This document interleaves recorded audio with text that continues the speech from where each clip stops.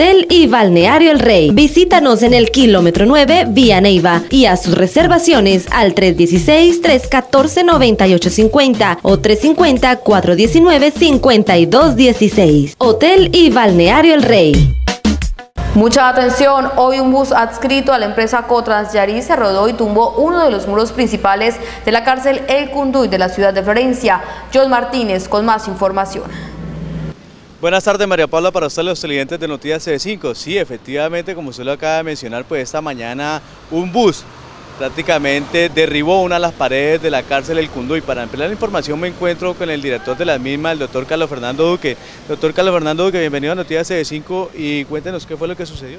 Sí, buenas tardes. Realmente esta mañana, aproximadamente a las 6 y 50 de la mañana, un bus de la empresa Trayarí que había llegado en horas de la madrugada a Florencia y estaba procedía para ser lavado y limpiado en una de las estaciones al frente del establecimiento carcelario El Cunduy en una vía bastante empinada. Eh, tuvo un percance, al parecerle un fallo, una falla mecánica que originó que se desengranara y viniera a dar eh, frente contra el muro perimetral de la cárcel del Conduy de Florencia.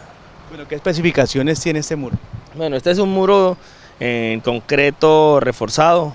Es un muro, pues como ustedes entenderán, con mucha seguridad para que eh, no colapse fácilmente y no se preste para fugas de internos. Eh, tendrá que una dimensión aproximada de 9 metros por 7 metros, un muro bastante grande con unas columnas con hierro 5 octavo, hierro bien fuerte y pues tendrá que ser reparado inmediatamente para evitar fallas en la seguridad de nuestro establecimiento. ¿Hay algunos comentarios malintencionados como que es que esto se aprovechó para que algunos internos se escaparan?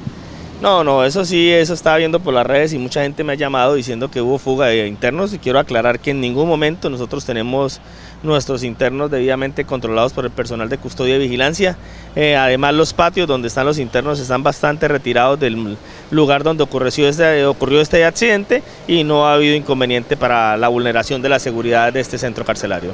¿Para cuándo iniciará la obra, la construcción de este muro y quién la restablecerá? Bueno, estamos en conversaciones con la empresa Trayarí. Hoy me manifestaron que ellos iban a asumir el, arreglo de, del muro, pero pues ahora en comunicación con el delegado que vino esta mañana dice que la aseguradora no lo permite. Ya nosotros reportamos el incidente a nuestras aseguradoras para que lo más pronto posible se eh, empiece la construcción del muro.